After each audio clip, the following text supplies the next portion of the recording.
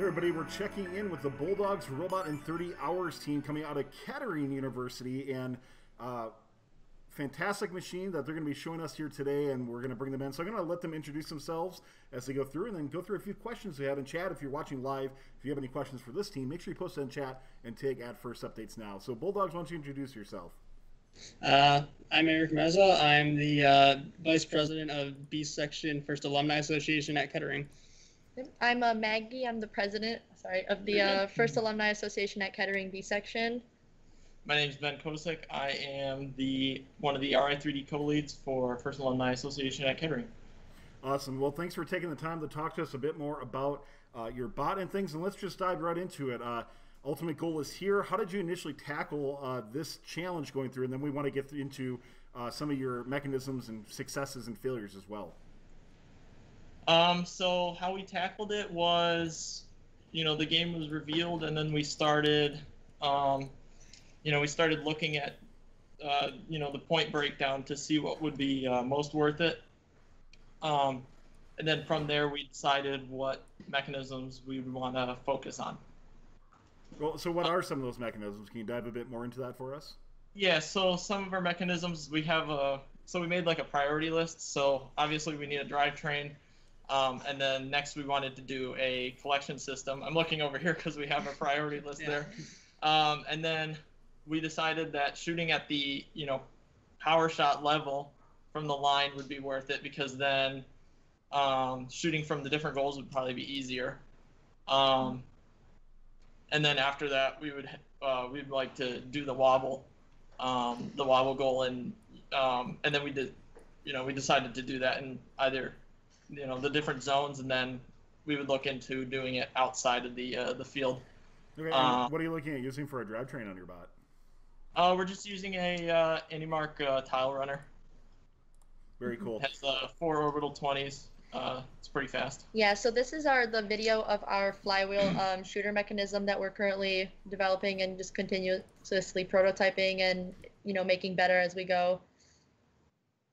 Um, so our goal with it was that we really wanted to have a fixed position because we used our knowledge from just FRC and our robot in three days in particular, where our fixed angle shooter was a really consistent tool, and it was actually something that a lot of teams ended up using. So we wanted to apply that same concept to FTC because we think there's a lot of knowledge you, you can gain from studying FRC. Um, and from our testing, we found that using this one angle, we were able to hit down the um, the power shots or the poles, and also consistently hitting medium goals. So something to ask about that, is, um, you know, from the angle itself, is this the height and elevation you're also looking at shooting at? Because that will definitely change then if you're looking at shooting at a different elevation. Um, it's slightly different. It's going to be slightly higher. However, I believe they're just going to angle it down. It's going to be a bit of fine tuning when we actually put it back onto the robot. Um, that's what they're working on right now because we had to get our mounter our uh, hopper all mounted before we could get the shooter mounted, as well as the intake. Well, let's talk about your intake a little bit and uh, what you're doing for that. I know we have a video uh, for that as well. Uh, so talk us through it. What's worked well? What hasn't worked well uh, for this intake so far? Uh, anyone take it? Yeah, so you know we're kind of going off of the intake based on um, you know Ruckus. So a lot of teams, what they did was in uh, the FTC game Ruckus, there's balls and blocks, so they would collect all of them and then funnel it. And uh, surgical tubing was used commonly. And uh, as you can see in the video here, we found that this works just as well with the rings. Um, so we're doing a a similar thing, and then we're going to funnel it to a single uh, a single you know ring line. So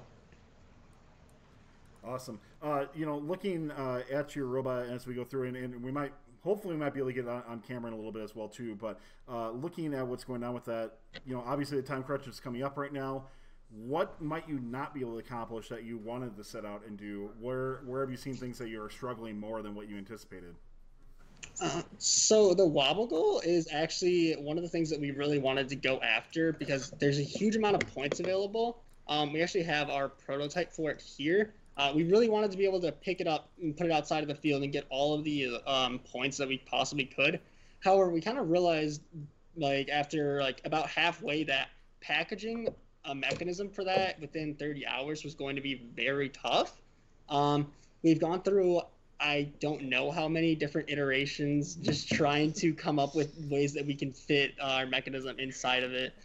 Um, it's been a struggle, and we're tr- we have one more version that we're going to pursue before we try and figure out what the um, best ways for teams are to manipulate it just like on the ground because we found that just pushing around the device, um, the wobble goal could actually lead to knocking it over a lot.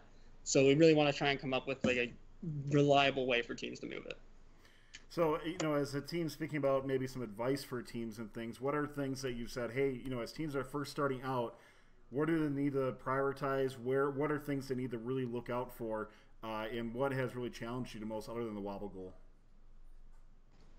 Uh, Yeah, so um, just kind of like in terms of just collectively like learning how to prototype and everything, we really took a big approach of just dividing and conquering. And this is a game where you think that some of these tasks are frequent and that you know they've been done in the past, but there's a lot of differences within the game pieces and the way that the field is set up. You know, most you never really see an FTC field that's as empty as this and it's um it's just it's just been very interesting in testing all these game pieces and really learning how to manipulate them to your advantage and that's kind of what we've been doing with each of our prototypes that we've been developing and just like learning how can we easel our way around some of those flaws that or you know benefits that we could find from them Yeah, and kind of adding on to that, like these rings, like it, there's a lot of um, knowledge you can gain from uh, 2013 because like, it's the same type of shape. However, the frisbees in 2013 they were very rigid, whereas these have a lot of give For. FRC, yeah.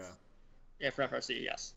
Um, so it's you can gain some knowledge from there, but at the end of the day, you still got to come up with like a pretty different system. Let's talk about this uh, surgical tubing and the uh, hopper that you have uh, coming in here. Now, this I think this is the official product, right? That's what it looks like to me. So, Yeah, Um, this is this is something we're trying to focus on. It's a uh, it's a U hopper. Um, so the idea of this is that we would be able to collect and shoot from the same side. So you know the rings come out, you know, towards the robot, and then you're shooting in the same directions that the rings come out. So we figured that shooting and collecting from the same uh, direction would be beneficial. What do you think a realistic cycle time is for teams in this game? Like, have you have you done some of that calculation, saying, "Hey, Um, this is what we think we might actually be able to do, or, or realistically actually accomplish"? we think a like a fairly decent team would be able to do a cycle of three rings in about 10 seconds um, uh, we think that like a an excellent team could probably uh, reduce that to you know closer to five or six Yeah, we were testing out like the uh, ring placement, we were trying to see if we could get any consistency on them, and it just was not there. So you're gonna have to be if you're able to somehow grab these rings while they're rolling.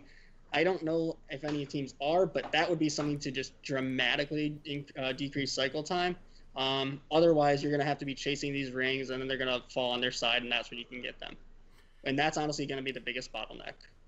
Now, from a consistency, we talked about shooting earlier, and so the rings, though, they might be hard for pickup, but shooting them looks like they're pretty consistent overall. Have you seen anything in regards to, uh, you know, the, the squishiness of the rings? Is there any variability between those uh, in regards to how much compression uh, you might use in your shooter?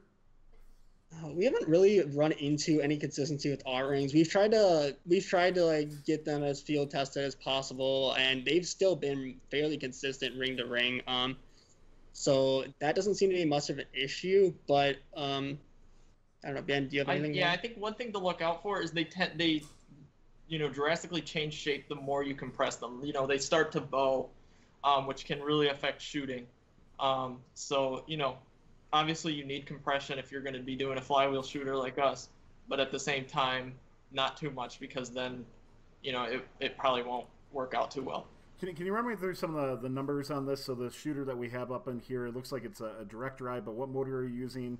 Uh, what, what percent or what RPM is uh, this being output at? Yeah, so this is a it's just a direct uh, you know no gearbox straight off of a uh, AndyMark NeveRest motor. Uh, you know the AndyMark says the no load uh, RPM is uh, 66 or 6,600. Um, and we're just running it at full power. We were just plugging it directly into a battery. Um, you know, just just for you know testing in this in this case. Makes a lot of sense. So as we start to wrap up here, uh, any last things that you want teams to know about, uh, or, or, of course, we'll uh, let's ask you first. Where can we find the stream going on right now for you guys?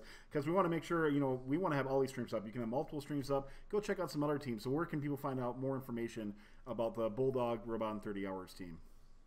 Yeah, so we are currently um streaming on Twitch. We've been streaming for the last, you know, how since since the games kicked off on um hours. 24 hours on um twitch.tv forward slash um Kettering RI3D.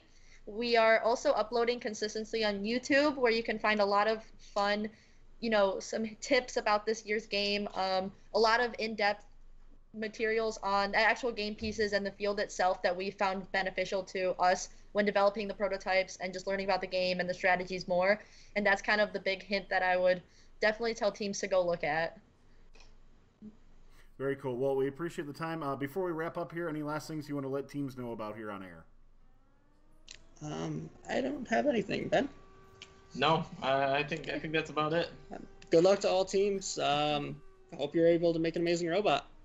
Well, thank you so much, Kettering University, for popping in. We're going to head back over to our main uh, team, Reno, here. And uh, thanks again, Kettering University. Good luck to you throughout the rest of this challenge. Thanks for watching. If you want more fun content, be sure to subscribe and ring the bell to be notified about our latest videos. Thanks to all of our co-executive producers on Patreon and Tier 2 Plus subscribers on Twitch, keeping fun loud, live, and independent. Thanks to Rev Robotics and goBILDA for supplying components and providing on-stream giveaways.